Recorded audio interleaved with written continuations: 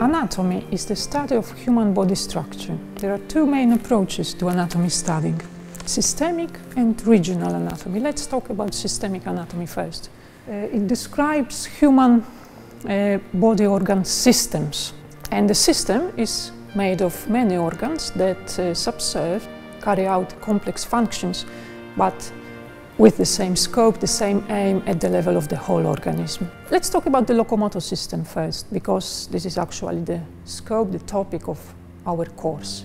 As I said, it is composed of the skeletal, articular and muscular system as they work together to produce body movements, locomotion. And even if the main players in the locomotion are bones, joints and muscles, you should know that other systems are involved as well for example, cardiovascular system. So while studying systemic anatomy, you should always remember that actually none of the systems works in isolation, functions in isolation. And every one of them is actually dependent on, relies on, and at the same time subserve the other systems.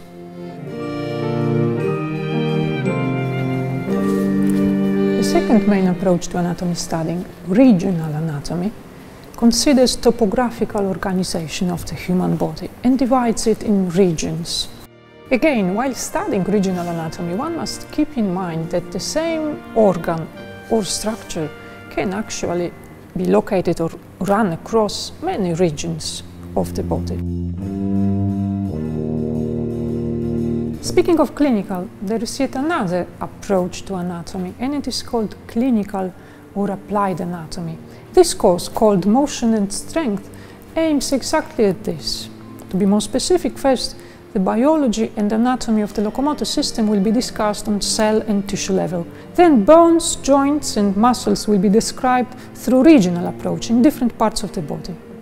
Throughout the course, at each level of the locomotor system study and in every region examined, numerous applications of the knowledge will be indicated even if the primary task of this course is to teach basic biology and normal human anatomy of the healthy locomotor system, yet it is disease that actually sheds light on the importance of the normal structure and function. Hence, the great majority of questions, problems and answers that you'll find following the links included in this course actually deal with common pathologies in order to show the clinical relevance of the basic biology and normal anatomy. I hope you'll have good time studying.